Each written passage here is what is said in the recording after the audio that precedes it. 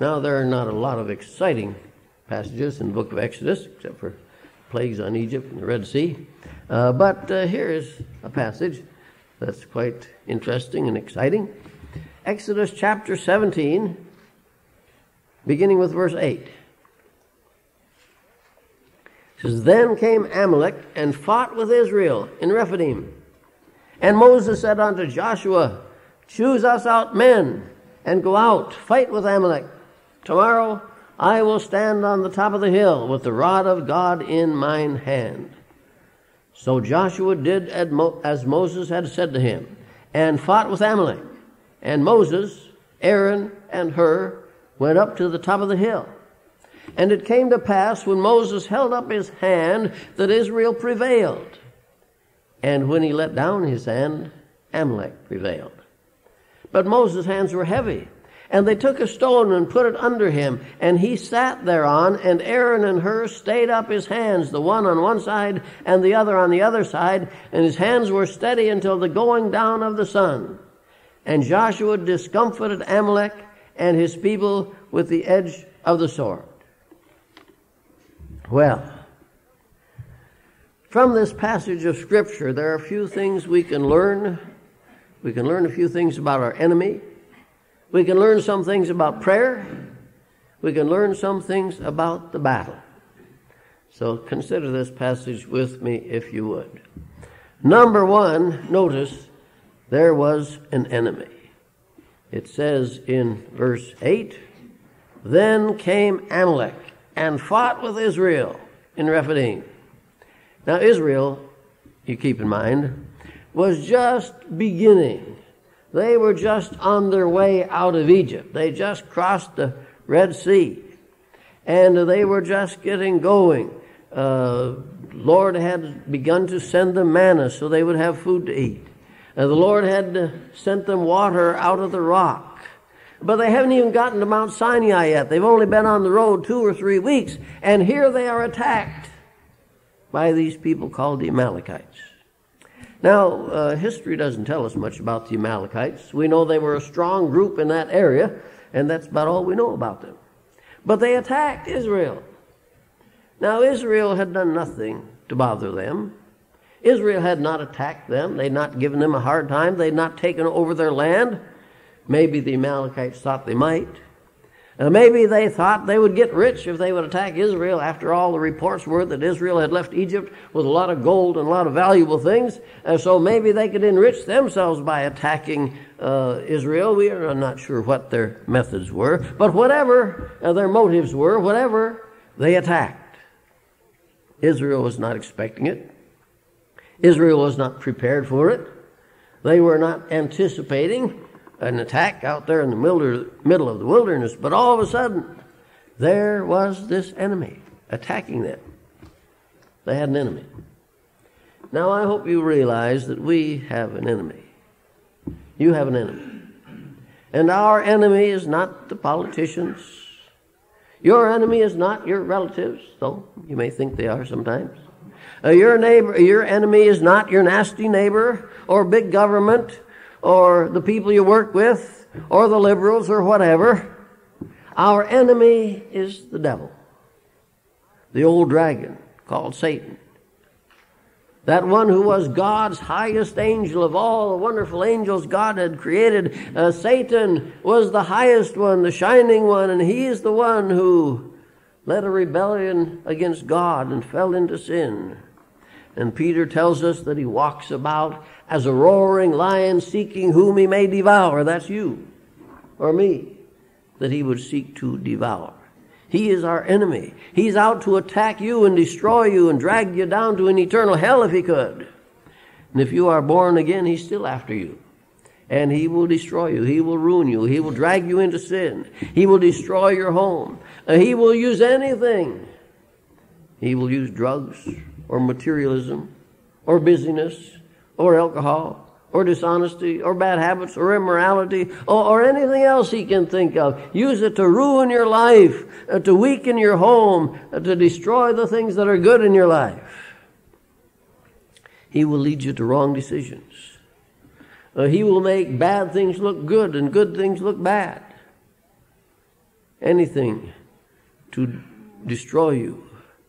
And he has not only the devil, it's not only him, but the devil has uncountless thousands of helpers. Those angels who fell with him, thousands upon thousands of demons, and all together they are out to get God's people and other people as well, to drag them down. And I hope you recognize that he is your enemy. Uh, he is more strong than you are. He's more wise than any of us are. And so he's a frightful enemy to deal with. But we have an enemy. And our enemy is the devil himself and those who follow him. Now, the next thing I notice is that these, when these Amalekites attacked Israel, they attacked the weakest part of the nation. Now keep your finger there in Exodus, but go over to another account of this in the book of Numbers, chapter 25. Numbers, chapter 25. Verse 17. After those 40 years in the wilderness, Moses is kind of reviewing their history for Israel so they could learn and remember some things from it. And he says this Deuteronomy chapter 25, verse 17. He says, Remember what Amalek did unto thee by the way, when ye were come forth out of Egypt, how he met thee there by the way, and smote the hindmost of thee, even all that were feeble behind thee, when thou wast faint and weary, and he feared not God. Here was an enemy who had no concern for what was right or wrong, no concern for God, and he smote, it says, the weakest of them. Now, at that time, Israel was kind of scattered around, and they were just all moving as kind of a mob uh, down the road, generally in the direction of Mount Sinai. And of course, the oldest and the weakest, those with little children, those with old folk, uh, since mostly they were walking along, uh, they were way back at the end of the line. And uh, that's where Amalek attacked. He attacked at their weakest point. Now, later on, you realize, uh, after Mount Sinai, uh, God organized Israel. They were all in groups, and the strongest group was in front, and another strongest group was in back, and they had a certain order for march and all that. Uh, but at the beginning, they were just kind of a motley mob, just kind of straggling along, heading more or less in the same direction without any organization whatsoever. And so it was a good military strategy uh, for Amalek to attack the weakest part of the group, and they did. They attacked back there at the back where the weak folk was, less protection, and uh, weaker people, older people, and so on. And Israel was a sitting duck. Uh, they were kind of scattered around, you know, they weren't uh, two columns marching in a row at this point. Uh, they had no defense. They had no watchman to warn them danger was coming. They had no soldiers prepared to fight. They had no communication. I'm not sure even how many uh, weapons they had, probably not many. And so it was a good time for, uh, for Amalek to attack. They weren't ready, they weren't expecting it, they were weak, and they could attack. And they did. That's always the devil's method attack when you're the weakest. Remember when the devil came to tempt Jesus? It was after he had fasted for 40 days and 40 nights without food and water. And it says after that he was weak, he was hungry, he was tired. And that's when the devil came to tempt him, when he was at his weakest. Uh, when does the devil attack you?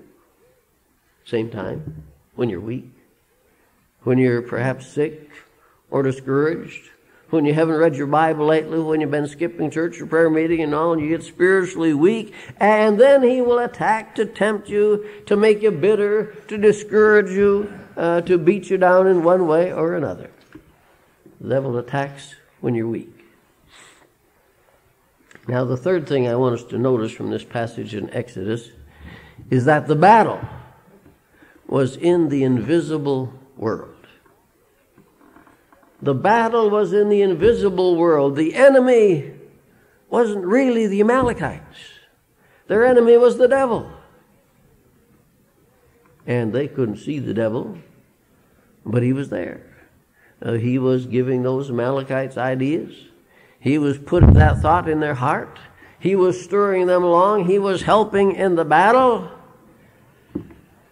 But we always think the battle is with things we can see. You know, the situations around us, the people we know, the people we deal with, things we can see. But that's not so. The real battle is the invisible war.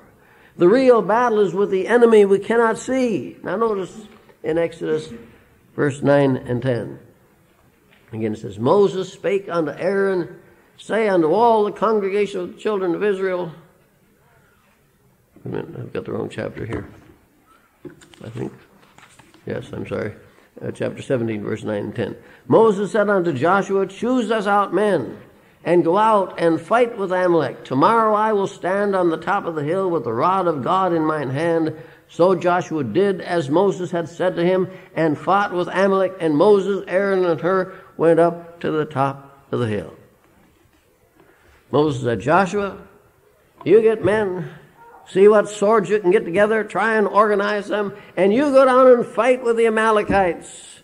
Attack them. You go down there in the valley and fight and I will go up to the top of the hill and fight. And Joshua was going to fight with the Amalekites, and Moses was going to fight with the devil. You see, the devil knew what was going to happen if Israel went on. He knew that they would receive the laws of God. He knew that later on that nation of Israel would give to us the Bible. He knew that later on the nation of Israel would give us Jesus Christ, the Savior, to die on the cross for our sins and pay for our, the penalty so we could be delivered from hell. And he didn't want any of those things to happen. And so he said, I need to stop them now. Destroy them now. And so the devil, they saw the Amalekites, but the devil was the real power behind the scenes. And so Joshua took the soldiers and went down into the valley and joined the battle. And Moses went up to the top of the hill where he could see the battle, see the enemy and the soldiers. And there he lifted up his hands in prayer. Now, you can pray in any kind of posture, you know. You can pray standing up, you can pray sitting down, you can pray on your knees, you can pray lying down, uh, you can pray with your hands folded, you can pray with your hands up or whatever. It doesn't matter that much to God uh, as long as we're praying. Uh, but uh, Josh, uh, Moses, wanted to lift up his hands to God in prayer. And so he held his rod and lifted it up in prayer. And down there the soldiers could all look up on the hill and there could see Moses standing there with his rod and know that he was praying for them. Moses held up his hands, and when he held up his hands, uh, the Israelite army was able to push forward, and the enemy was being defeated. But his arms got tired. You know, you can't stand holding your hands up like that for very long. And he got tired, and he let his hands down, and then the Amalekites started to press the battle forward. And they were winning, and Israel was losing. He held up his hands and kept praying again. And you know, the soldiers could have looked at Moses up there and said, Moses, what are you standing up there for? Why don't you get a sword and come down here and help us? Help us fight the battle. But they were fighting the visible battle, and Moses was fighting the real battle. You see, the battle on the battlefield was won because the battle on the hill was won. He couldn't hold his hands up all the time, so they sat him down on a big rock, and then Aaron stood on one side and held up this rod, and Hur stood on the other side and hold, held up that hand. And so he could keep his hands up and keep on praying, and they could see that he was praying. And the battle was won there on the hill. You see, the Israelites were fighting the Amalekites and Moses was fighting the devil. Israel was fighting the visible enemy, and Moses was fighting the invisible enemy. Israel was fighting with the sword, and Moses was fighting with prayer. And so the battle went on, and Israel won. Now turn to your New Testament with me, and notice the background of what I'm saying in the book of Ephesians, chapter 6. Ephesians chapter 6.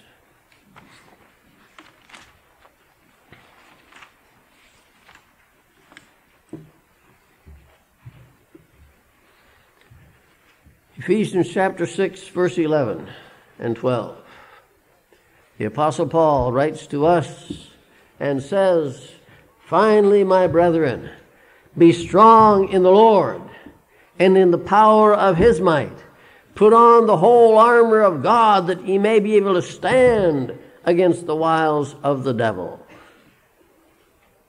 For we wrestle not against flesh and blood, but against principalities, against powers, against the rulers of the darkness of this world, against spiritual wickedness in high places. We're not fighting with people with things we can see, people we can understand. We're fighting with the invisible hosts of Satan, principalities, his powers, his demons, his agents that we can't see. We're fighting with them. That's where the real battle is, you see. Our wrestling, our striving, our spiritual progress does not depend on material means. Paul says in one place, we, the weapons of our warfare, 2 Corinthians 10, are not carnal, but mighty through God. They're spiritual weapons. We fight with prayer. Uh, go back to Daniel, the book of Daniel, chapter 10. Let me show you an example of this. Daniel chapter 10, Old Testament. Book of Daniel, 10th chapter.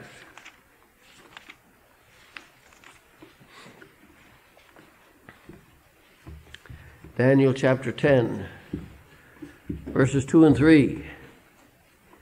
Daniel has been receiving inspired revelations from God, visions of the future, and all these things.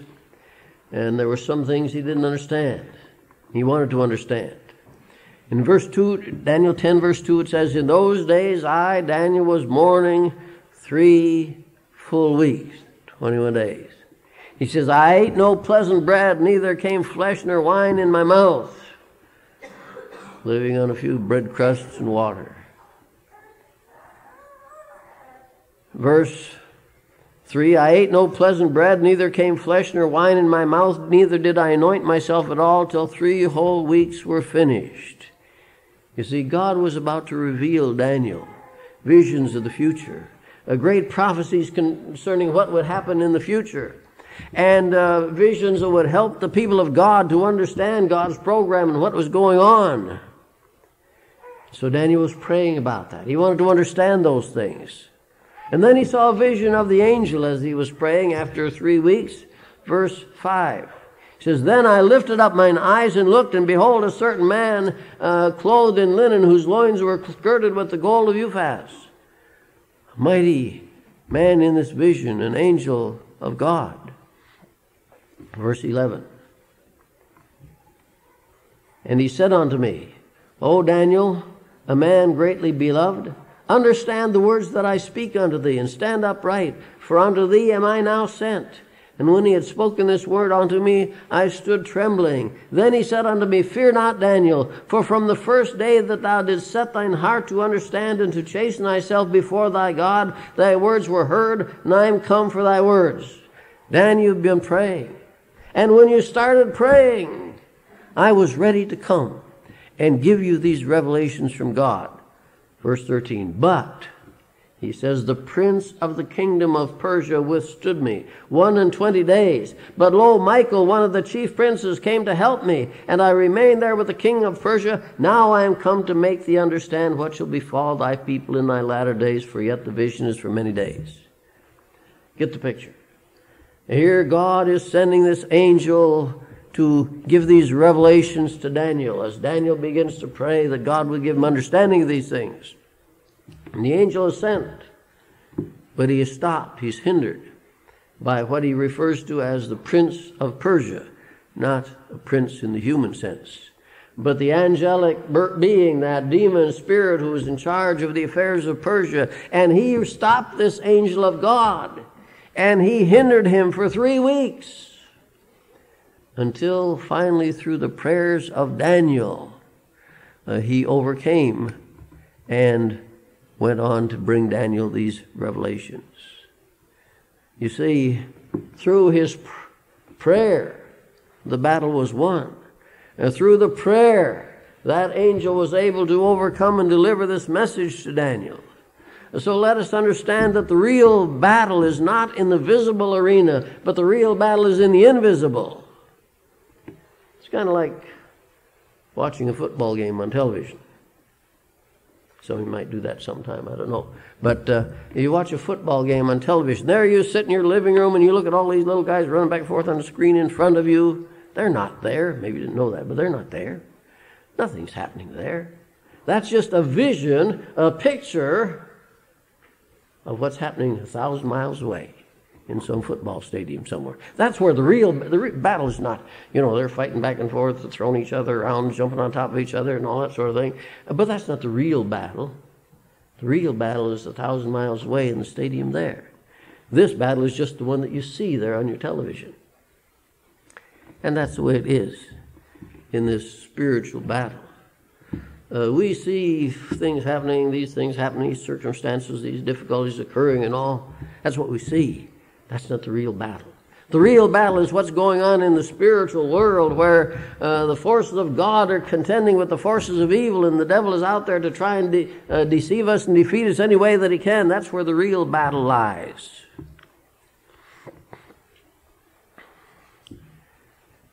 And a lot of things that happen, the things you see, uh, they're not the real battle. But the things you don't see, behind the scenes in the invisible realm. That's where the real battle is. And that's the way it is in the warfare of God's people. The real battle is not what you see. You just see the reflections of it. The real battle is the invisible world of God's forces and the demons. Remember that Old Testament prophet in the city, little city of Dothan? And he had been telling the king of Israel where the Syrian armies would attack him and where they'd hide out for him to ambush him. He'd been passing that information along, and the Syrian king says, Who's telling on us anyway? Who's betraying our plans? And one of them said, It's not any of us, it's that prophet in Israel. He's telling the king what you say. And so he sent his army to surround that little city of Dothan. And the prophet woke up in the morning and sent his, his servant out to see how the day was. And the servant came back all shaking. He said, Oh, uh, Master, we're undone. We're surrounded by the, by the Syrian army. They've come to capture you and destroy us. What are we going to do? And the prophet says, No worry. The prophet said, Lord, open his eyes. And suddenly he opened his eyes so that he could see into the spiritual realm. And the mountains and hills all around were filled with the armies of the Lord, the horsemen and the chariots of Almighty God. And the battle was won that day, and the prophet wasn't taken prisoner at all. But you see, that's the way it is. Uh, go back to Ephesians chapter 6.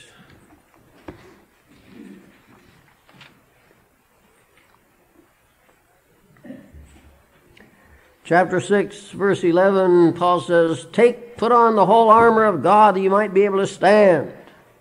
Be equipped, and he tells you about the armor you need for your equipment, the helmet of salvation, your feet shod with the gospel of peace, and the uh, breastplate of righteousness, and uh, your loins girt about with truth, and all the rest of the army, armor. And then he says, verse 18, praying always. Stand, get the armor, be equipped, and pray always with all and prayer, all prayer and supplication in the Spirit. You see, the real battle is the spiritual battle. You take the spiritual armor, you take the sword of the Spirit, which is the Word of God, you stand your ground and you pray, and that's how the battle is won. The battle is won by prayer. The enemy is defeated by prayer, and sinners are converted by prayer, and victory is won by prayer. See, prayer is the nerve that moves the mighty arm of God. Prayer is the force that unleashes the power of God. Remember that distraught father who met Jesus when Jesus and three of his disciples were coming down from the Mount of Transfiguration? And that father came all distraught and said, Oh, Master, do something for my son. He's possessed of a demon. He's always trying to destroy himself. And, and I brought him to my your disciples. They couldn't do anything for him. And Jesus healed that boy. And then his disciples said, How come we couldn't do with that? And Jesus said, This kind, that particular powerful kind of demon, this kind cometh not out but by prayer. Go with me to Luke chapter 22. Luke chapter 22.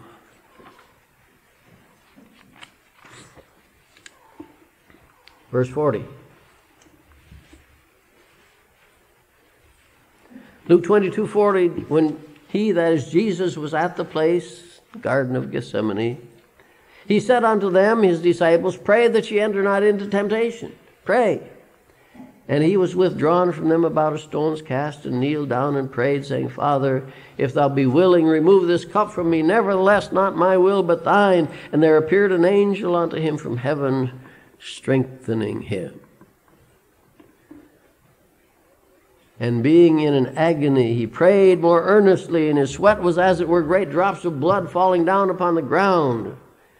And when he rose up from his prayer, he rose up to face the cross. You see, Jesus was involved, engaged in a spiritual struggle. In his human frame, uh, he was weak. He didn't uh, have any desire to face the cross and the suffering. And he had to fight the battle, but the victory was not in the material realm, but in the spiritual. Uh, God sent an angel to strengthen him. Didn't get a granola bar or a pep pill to do it. He got help from God as he prayed. And because he prayed, there was that strength from the angel in the invisible world. Go to the book of Acts, chapter 12. Acts, 12th chapter.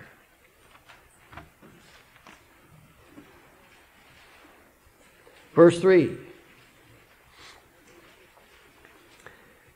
And because he, that is Herod, that wicked, despicable king, saw it pleased the Jews, that is, he'd had James put to death, and that made the Jews happy. That was politically expedient. And so he proceeded further to take Peter also. Verse 5 Peter, therefore, was kept in prison. He arrested Peter. Had to wait till the Passover was over because that wouldn't be a good time to do something like that. But as soon as the Passover was over, he'd take Peter out and have him killed. And there was Peter in that jail feet chained to stocks, his arms chained to a soldier on each side, the doors of the prison locked, the inner prison and the outer prison. There he was locked, awaiting his execution. But notice what it says in the last part of that verse. Verse 5 Peter therefore was kept in prison, but prayer was made without ceasing of the church unto God for him. People were praying. The church was praying. They were praying without ceasing. They were praying day and night for several days. They prayed and they prayed and they prayed more. And you know the story. They prayed and God sent an angel. An angel came into that prison, filled it with light. The chains fell off Peter's arms and feet. The doors of the prison opened, and Peter walked out a free man, victorious, victorious, because victory was won through the spiritual world of prayer. Prayer gave the victory. Go back to Second Chronicles chapter 13. Chronicles, Second Chronicles chapter 13.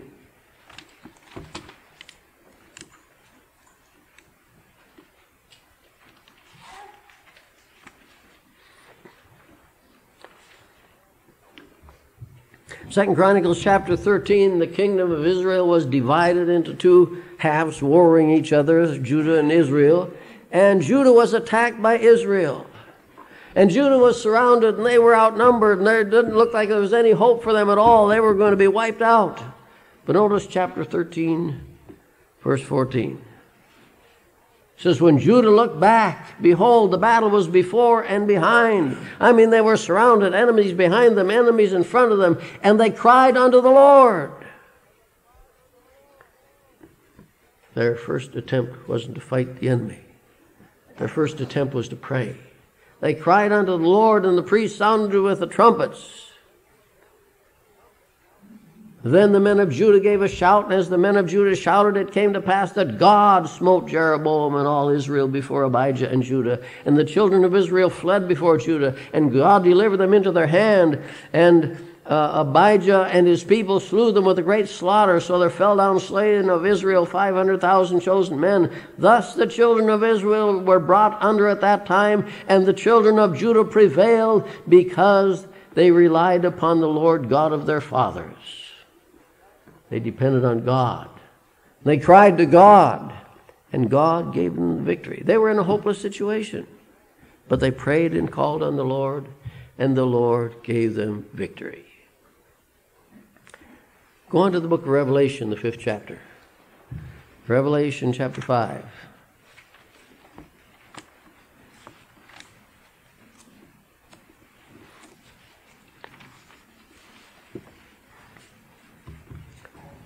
Now, watch this carefully.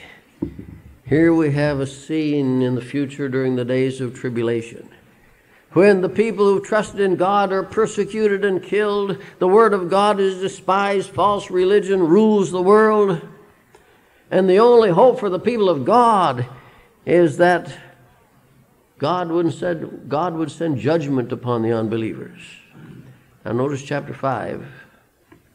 I saw in the right hand of him that sat on the throne a book written within and on the backside, sealed with seven seals. And I saw a strong angel proclaiming with a loud voice, Who is worthy to open the book and to loose the seals thereof? And no man in heaven nor in earth, neither under the earth, was able to open the book, neither to look thereon.